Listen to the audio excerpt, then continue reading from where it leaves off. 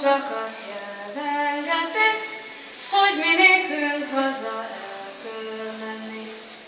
Mikor az én vendégségem nézem, összehívom az én szép vendégem, összehívok kedvek és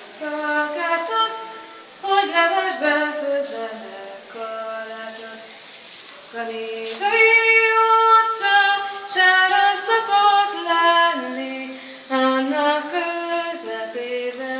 vásár szokott lenni.